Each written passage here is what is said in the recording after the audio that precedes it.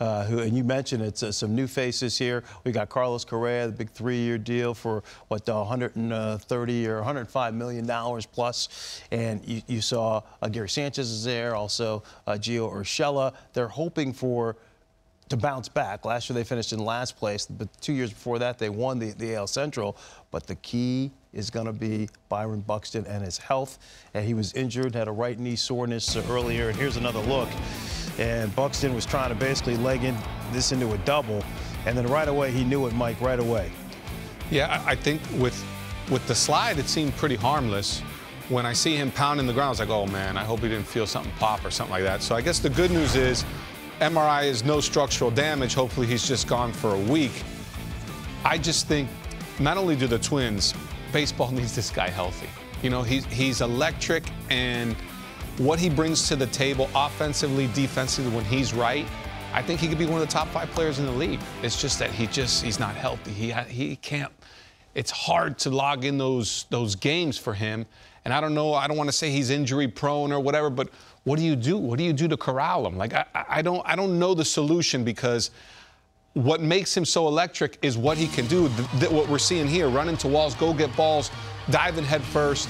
Do you tell him not to do that anymore just so you could play him? Well, then what he brings to the table gets diminished. So I, I don't know. I, I, I, don't know the answer. I just, I just don't. I just, I know when he's on the field, he's one of those guys when he steps to the plate or a ball's hit the center field, you stop and watch and see maybe something incredible is going to happen. Well, we had the same conversations about Bryce Harper when he first came on the scene, right? It's the same thing. I mean, he was running like his hair was on fire. Every time he, he, he took off, it was like, I'm running to the wall. This is what I have to do. I don't think you can change how he plays.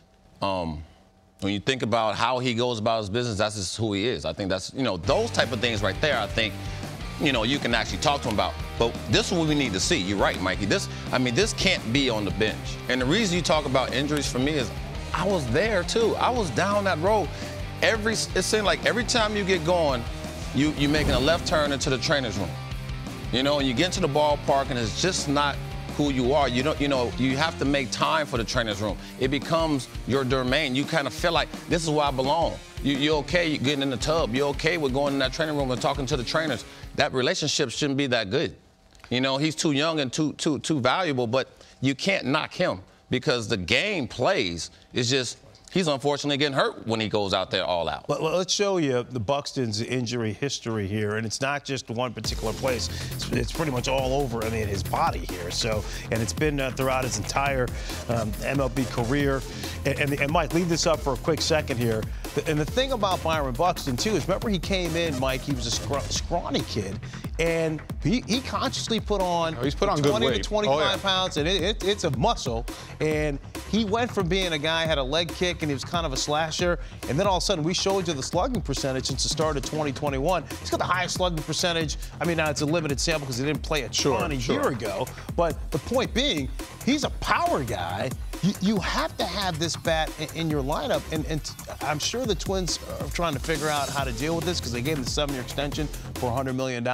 Buxton, if he's healthy, is worth far more than that, but Buxton wanted the security, and the Twins weren't willing to give him that because they're not sure he's going to stay on the field. But at some point, and even you don't want him to change how he plays, but he's got to be on the field. So you, you, there has to be some kind of happy medium. There, there has to be something, and I don't know if it's specific to him running into walls. And maybe maybe the game is we got to play him a little deeper so we avoid that, and he'll be playing everything in. I don't I don't know the solution. I wish I did, but the irony of that highest slugging percentage graphic was the guy right behind him is Fernando Tatis Jr. And he's missed right. a ton of games. So right. my point is, do we corral him and say, oh, we hope to get 120 out of them? My problem with that is it's a still 162 game season. So for 42 games, that's about a, what a quarter of your season you're going to have a guy vastly inferior at that position. That's why durability for me is so valuable in the game. Not only are all these numbers great, but the durability has to be there. I, I just know when, like you said, Fran, that's a great point. When you look at a guy with the skill set of Byron Buxton, what do you say? oh, that frame can put on weight. And it did. Yep. And it transformed into yep. what everyone hoped it would transform into. He's not the 9 or 11 home run guy. No. Ability wise, he can be 35 to 40 plus. He just can't do it if he only plays 70 games. Right. And, and it's a shame because he's electric. I think he's a guy that the Twins can rally around. I mean, you combine him with Correa and Polanco, like that's a pretty good team. They can put together some runs. It's it's hard. I think I, I- feel for him because when you look at the graphic of all the injuries, how many are lack of preparation? I would say very few. Right, right. And that, that's Yeah. what hurts. Well, it hurts. I mean, I just, you know, when you talk about what makes them exciting is when you see them running for these balls, thinking, ain't nobody else getting these balls but Byron Buxton and a couple others. Right, Right. but but but you made a point about Bryce Harper. I mean, he Yeah. figured out a way to see to, to stay on the field, and then he won a little couple bit. MVPs. Yeah, you know I, what I I, mean? just don't know if how that, you know, how you go about that conversation. Hey, look, you know, play a little deeper and and, Yeah, and- don't try hard. and don't yeah, Yeah, like it- that- don't that's- don't don't run out. You know that type of ball that's a routine pop up and just end up on first. Then you get crucified, right? Then everybody can tell you you're lazy. So I, I don't know what's the happy medium. We what we do know is we need more of him, right? I, want to see him. and He's exciting. He's a, he's a game changer. But it's just you know, and injuries. And when you look at that board, I mean, a few of them probably is from him from running into the walls. You know, a few of them is probably this and that. But the one the other day, I was like, what happened? Right. You know, like those are little things you you you scratch your head and go, man.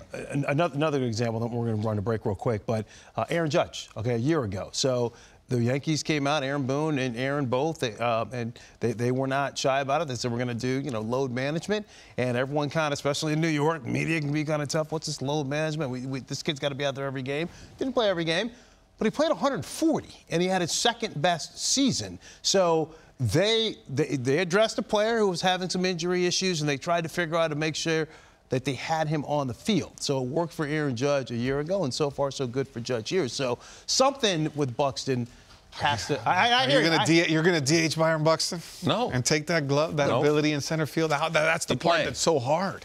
Right, but uh, he's You might- be- you might have to. Yeah, I don't yeah, know. Somehow, some You mean like day game the after field. night game, Yeah, bingo. protect bingo, like that type of deal. Bingo.